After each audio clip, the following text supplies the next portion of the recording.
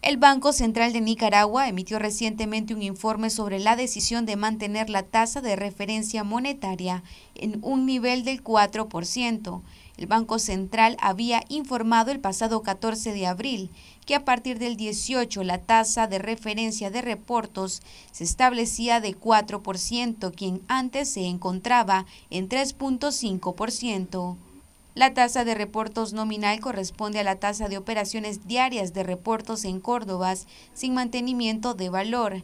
De igual forma, el Banco Central de Nicaragua dijo que resolvió mantener las tasas de la ventanilla de reportos y depósitos monetarios, ambas al plazo de un día para operaciones en Córdoba sin mantenimiento al valor, en 5.25% y 2.75% respectivamente.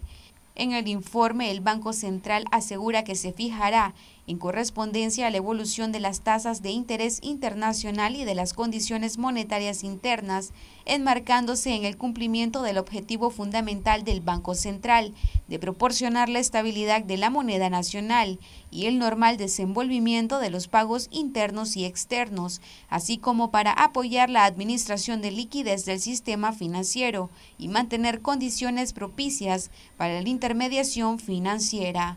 El economista independiente Marco Antonio Peña explica que con esta medida el Banco Central pretende desacelerar la circulación del dinero, así como el encarecimiento del costo financiero de los préstamos.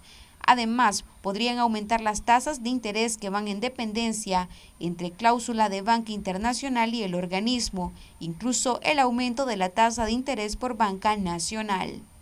Para Noticias 12, Gabriela Solórzano.